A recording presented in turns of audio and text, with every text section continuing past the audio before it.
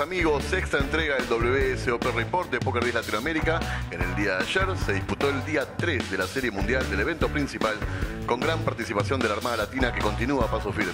Para destacar, el sexto lugar en la tabla general del argentino Manuel López, quien cuenta con un stack de 942 mil puntos en fichas. Varios de los latinos lograron entrar en premios en el día de ayer, donde se rompió la burbuja, como fue el caso del chileno Angelo Mancini, el panameño Víctor Lemos, el brasileño Ivo Gómez, el colombiano Julián Pineda, el mexicano Juan Carlos Alvarado y el argentino Hugo Nazar. Todos ellos se llevaron una recompensa de 15 mil dólares por su participación.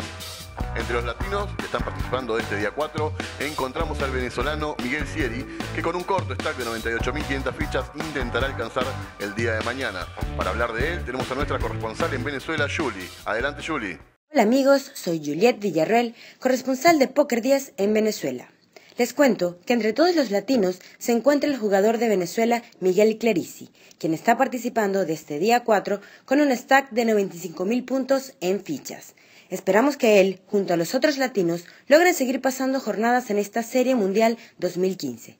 Saludos desde Venezuela, soy Juliette Villarreal para Poker 10 Latinoamérica. Otro de los argentinos que estuvieron en Las Vegas, aunque no participaron del main event, tuvieron una gran performance. Son los hermanos Gonzalo y Francisco Araujo, quienes mejoraron lo que hicieron el año pasado y realmente les fue muy pero muy bien. Para ello, en exclusiva, Gonzalo nos cuenta lo que fue su participación en Las Vegas. Gonzalo, te escuchamos. Hola exe, amigo, eh, gente de Poker 10. Eh, bueno, paso a contarles lo que fue mi experiencia en Vegas, al menos la mía, y creo hablar por mi hermano también. Eh, si bien no era la primera vez que íbamos, fue la segunda. Eh, la verdad que cada vez que vas te, te deslumbra, pues es una ciudad increíble, porque es, eh, es la meca de lo que hacemos todos nosotros, que es jugar al póker. Y cuando vas allá, todo lo, todo lo que hay, cómo está armado, la importancia que tiene allá, el, el, lugar que ocupa en, en los casinos y en, en la ciudad en general, la verdad que te motiva a dar todo, a dejar todo. Y bueno, fue lo que fuimos a hacer. Y la verdad que arrancamos muy bien. Siempre, siempre uno sueña con tener esos torneos, viste, donde, donde te sale todo bien en Vegas y, la noche antes de irnos para allá, la verdad que nos quitaba el sueño eh, ganar un torneo grande, si bien la utopía de, de traer un brazalete eh, en, la la imaginación siempre está, pero es algo bastante jodido hacer que imagínate, toda la historia argentina lo hizo uno solo, un monstruo, el negro.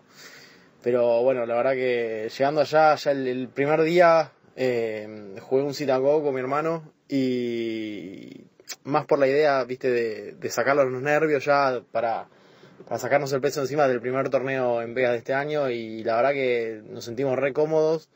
Eh, iban avanzando los niveles y por suerte lo pude chopear con él, que eso siempre es, es una sensación increíble. Es algo que yo pude sentir la otra vez cuando, cuando él ganó el main de Madero y yo el second y, y esa sensación de, llevarte todo con, tu mejor amigo, con tu hermano, la verdad que es... Eh, está bárbaro. Si viene a un torneo chiquito, eh, eh, la sensación de haber hecho las cosas bien y, ahora, encima divertirnos, pues nos cagamos de risa y bueno, eso estuvo bárbaro.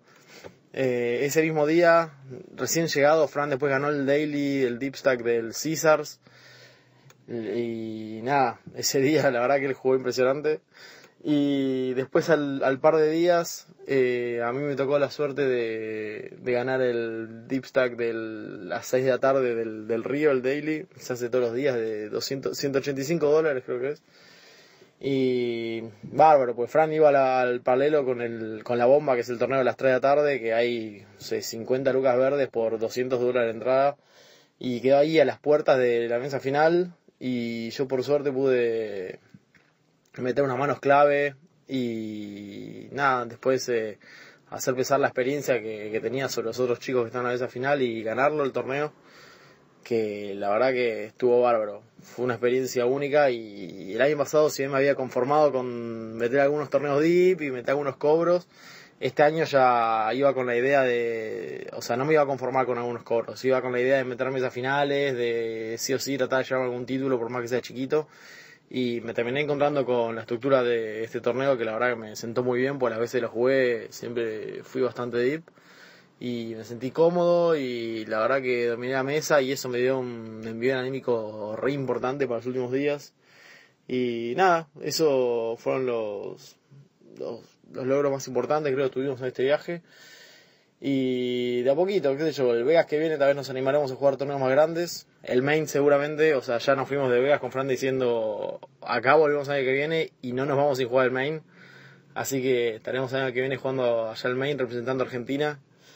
Y nada, la verdad que es una atmósfera única la, que se vive allá en Vegas, todos argentinos unidos, la verdad que salimos todos juntos a la noche, vamos todos juntos a comer, eh, nos preocupamos, viste, por los torneos, por cómo le va al otro, reileamos a, a los que están deep en torneos, la verdad que es una locura y es una experiencia que los que tienen la posibilidad, eh, sin duda lo recomiendo porque está buenísimo. Y nada, quería mandarle un saludo a todos, a vos especialmente y a mi familia que nos apoya en esto y a toda la gente increíble que conocimos con este semideporte a lo largo de todos los años. Un abrazo.